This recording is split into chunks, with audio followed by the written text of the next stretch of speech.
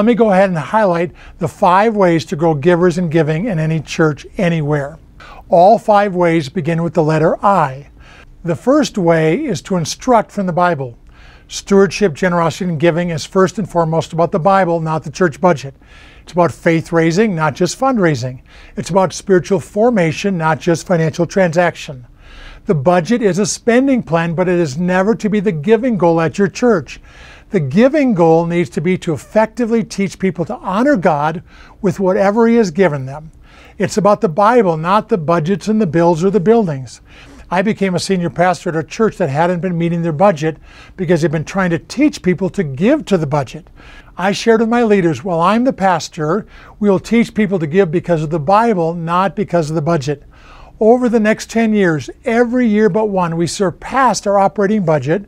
We increased our missions giving. We completed renovation projects. We started caring for overseas orphans and needy children. And we increased our giving into the community tenfold. This happened because of a Bible message, not a budget message.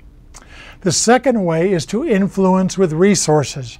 I have spent many years writing generosity devotionals, books, curriculum, and financial materials for churches to help instruct people in God's Word, ignite people's faith, inspire generosity, and increase giving. From my experiences serving churches across America and even around the world, I have learned that putting biblically based financial and generosity resources into people's hands powerfully changes their attitudes and actions about their living and giving.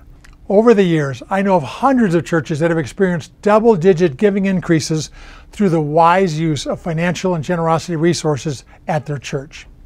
The third way is to involve with systems. Spiritual leaders are instructed in the scriptures to collect gifts and offerings. In today's day and age, you must do everything you can to help your people to become faithful and joyful givers by making it as easy as you can for anyone and everyone to give. Today, the need is for churches to create as many ways as possible for people to easily and faithfully give to the Lord's work at and through their local church. It can be offering plates, a box in the back, envelopes in the pews, donation iPads in the lobby, online giving, text giving, app giving, stock gifts, gifts in kind, asset based giving, and estate and legacy giving are all viable ways a church can help make it easy and possible for their church families to be joyful, generous, and faithful givers.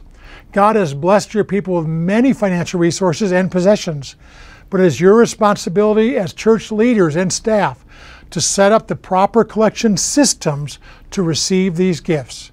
Campaigns and special offerings are also ways to inspire, ignite, and encourage giving.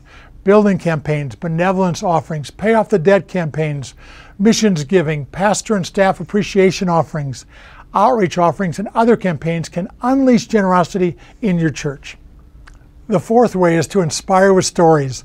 The Bible is filled with generosity stories. The little boy with the five loaves and the two fish, the widow's mite, the Macedonian Christians giving generously out of their poverty, David and the leaders giving out of their accumulated wealth, Barnabas giving his land, the widow giving all she had to live on, the prostitute's alabaster perfume worth a year's wages, and the Israelites giving the plunder from the riches they received from the Egyptians, and Jesus giving his life for you and for me.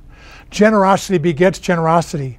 Share stories of provision and generosity, biblical stories, your personal stories, and the stories of people in your congregation or constituency. Stories will unleash generosity in unprecedented ways. The fifth way is to ignite with vision.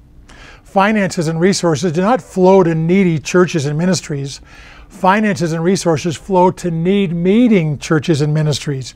You need to be doing valid ministry today and have a written vision for your God given future that inspires people's heads, hearts, hands, and their investment of their hard earned resources. So, what are the five keys to growing joyful givers and giving in any size church, anywhere of any size? Instruct from the Bible, influence with resources, involve with systems, inspire with stories, and ignite with vision. Thanks for allowing me to share this training session with you. May the Lord bless you and make you a blessing as you discuss and plan and work on these things together.